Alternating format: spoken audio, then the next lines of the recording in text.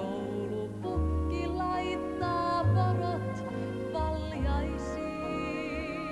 Nyt perheen pienin aikoo selvittää. Saako joulu?